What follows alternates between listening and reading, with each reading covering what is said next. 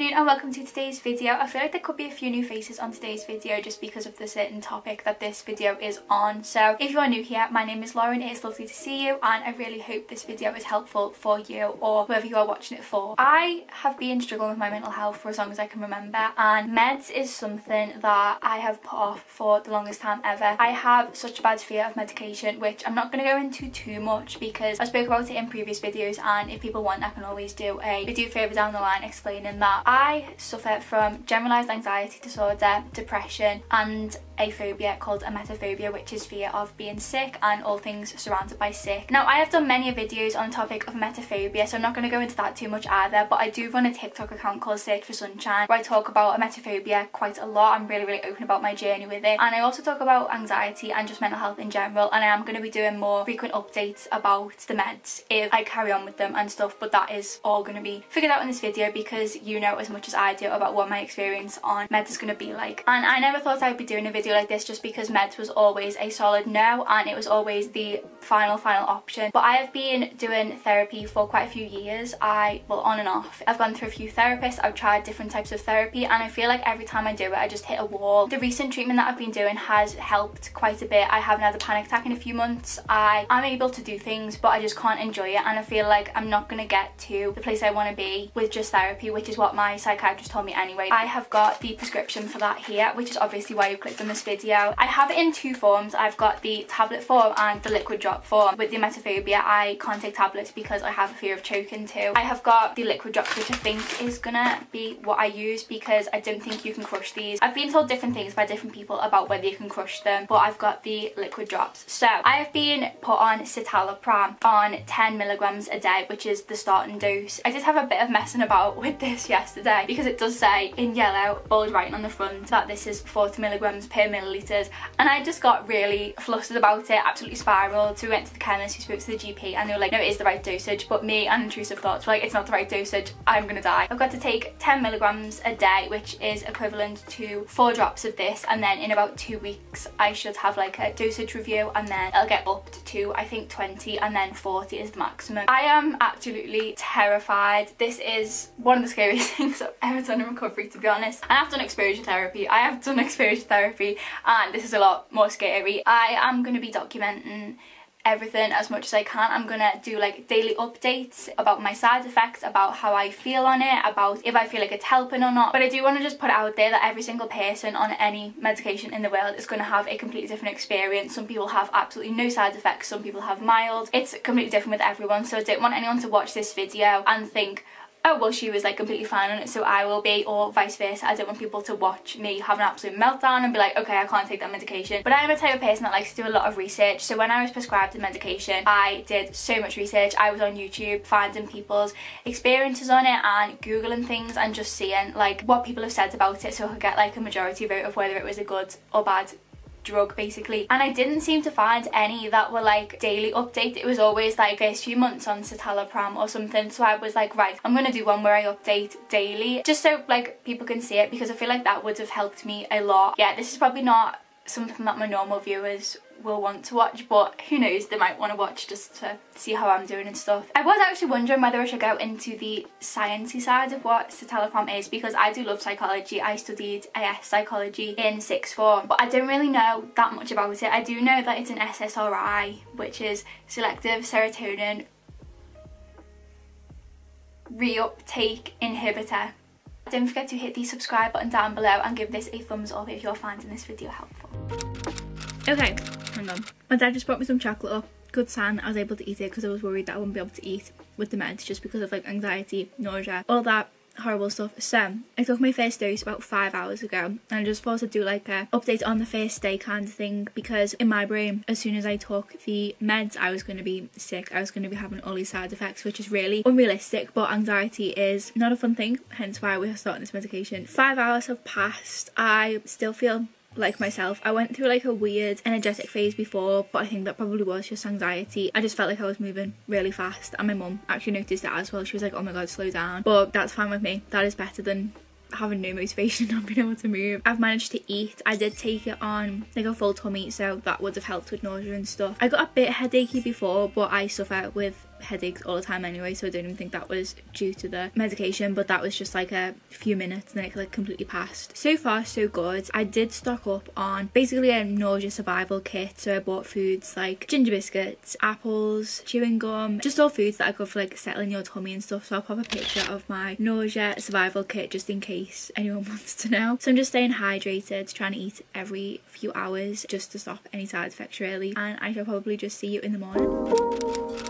Música excuse my current state I've just hopped out of the shower but I thought I would do today's update. It is day two and it's about 10 past 6 on a Saturday evening. I took my dose about 3pm so about three hours ago now. Still feel pretty normal. I do need to change the time that I take my dose though because I didn't really think about this time next month when I will be in university and taking meds at like 3pm probably isn't best because I probably will be in a lecture or I'll be in like a band rehearsal or something so I definitely need to get that gradually down to like maybe 8am or something which I'm not looking forward to because I'm not a morning person at all. I am feeling completely fine. I've had a few side effects which I'll obviously talk through in a second. Another reason that I need to change the time of day that I take the medication is because the later in the day you take citalopram, the more likely it is to affect your nighttime routine and sleep and stuff, which was quite apparent. It wasn't the worst night of my life. I did feel a bit like restless. It was kind of like my body was ready to sleep. My body was comfortable, tired, but my brain was just like awake which then obviously gave me a little bit of anxiety but it wasn't anything that I hadn't had before. Also I've noticed that I'm more hungry than usual. It's kind of weird because I'm not used to having an appetite anyway. I felt hungry quite a lot of the time which is obviously a good thing I assume. I know that a lot of people struggle with lack of appetite when they start this so I was kind of worried about that but so far I feel like it's had the opposite effect. I don't know if it's just a coincidence I'm not really sure and I don't know if this is too much information I didn't know whether to say it or not but I thought you know what we're being honest we're going to mention every side effect that I have. I never go for a wee in the night time but last night I went for about three and I was like what is going on? hadn't drunk more than usual so I was like this must be a side effect and I did google it. I've been trying not to google anything and yeah apparently it can be a side effect of certain antidepressants so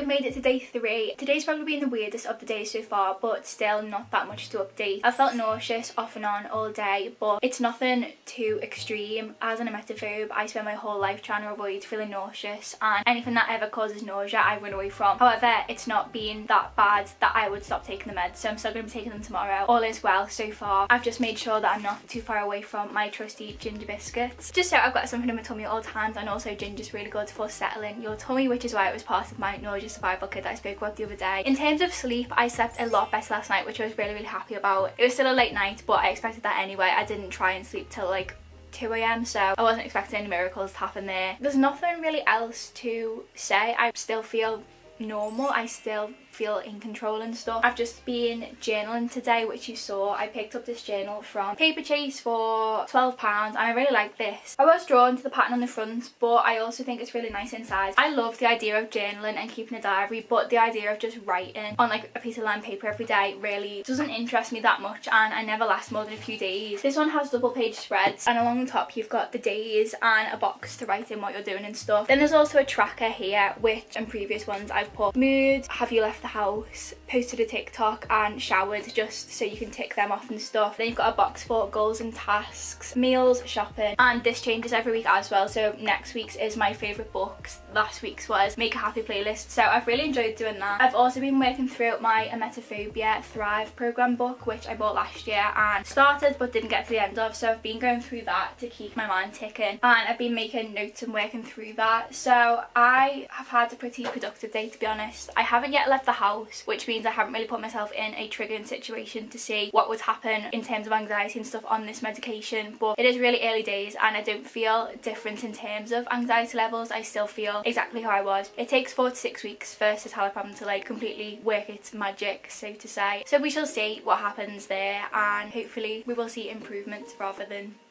the opposite of improvements. As I don't know what the word that is. What's the opposite of improvement? I do not know.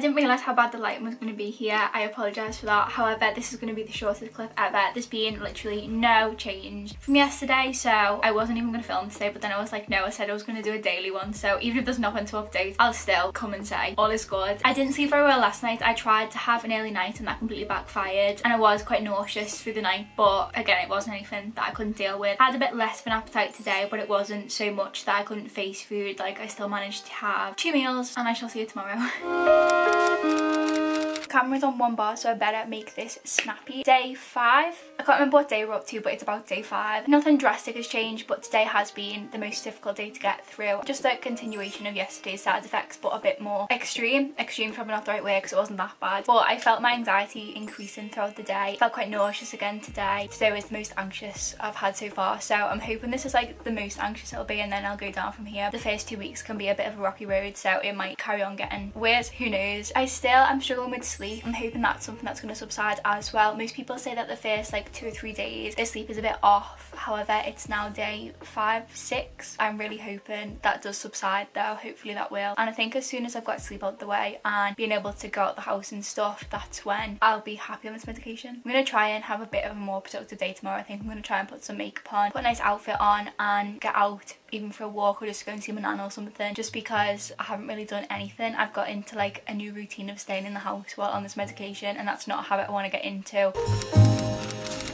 So we've made it to day six. I feel like this has been the longest week of my whole entire life. It's dragged so much. Today's probably been the best out of all of the days to be honest. Managed to get out of the house today and went to see my nan, also went to Tesco. So nothing too daring but I thought I'd be a little more anxious than I was so that was a lovely sign. Pretty much normal again. I don't know if I've just got used to the side effects I was having or they've gone. I just feel completely normal today. One thing I have noticed is that I'm not as emotional. I have been watching season 3 Love Island which is the one from 2017 and I cry at Love Island a lot. I cry absolutely everything in all aspects of life and I was watching it today and just didn't cry. Like there was really sad moments, really happy, emotional, like lovey-dovey moments that I would normally tear up at and nothing. So I don't know if I've lost the ability to cry, but at least I'm a bit more stable than I was. Who knows? I don't know if that's a good thing or a bad thing. I'm feeling completely fine. It's been a little while since I updated you guys. Well, it hasn't been a while. It's been like three days. I think I've been on the meds for 10 days now. Something around that time scale. But there was literally no updates again the day after I last spoke to you. And also, I haven't really had the chance to because I've been really busy, really anxious, or just just haven't had time to sit and film really and there was nothing that important to update. So I thought I'd do like a overview of the week as a whole. I still don't think it's properly kicked in. I've definitely seen an increase in anxiety the past few days. I braved town. I'm from Liverpool. If you know Liverpool city centre it can get quite busy and a bit overwhelming without anxiety. So it was really weird. The world just felt huge like it was a really strange like surreal feeling. Like I just felt tiny in comparison to the world and everything just felt loud and it was just a bit strange. So I will be going up a dose next week I think. I need to speak to my doctor and see what happens there. I am going to end this video here but I will do like citalopram update videos like more sat down ones than vlog style. My camera is about to die so I am gonna shut up. I am gonna sign off this video. If you're watching this and you are about to start citalopram, good luck. You don't need the luck. It's honestly been so much easier than I thought it'd be and I'm not gonna say I'm not scared of medication because I still am terrified of medication but it's gave me a bit more confidence in myself that I can do it no matter how anxious I get and stuff. So if you are about to start, don't worry about it, give it a go. A lovely girl actually sent me a message on TikTok just before I was going to start the meds and I posted TikToks about it which she'd seen and she messaged me, didn't have to, she did that out of her own will and basically said something that changed my perspective and honestly I think it was what persuaded me to try the meds so I'm going to be really really thankful for that girl always. She basically said to me feeling unwell for a few days won't ruin your life but potentially you would be ruining your life if you didn't take the risk because this medication could be like the best thing that's ever happened to me but I wouldn't know that and I could just spend years and years and years struggling when I don't need to. That was kind of the little inspirational message that like pushed me to try them. If you got this far thank you so so much for watching I'm really really thankful as always and don't forget to hit the subscribe button if you did enjoy this video and want to keep updated. I am more active on Instagram if anyone has any questions you want to ask me they can have a comment down below or message me privately on Instagram I don't mind I'm always happy to answer as soon as I can. But I will hopefully see you all in my next video. I hope you're all happy, healthy, thriving and yeah, love you all.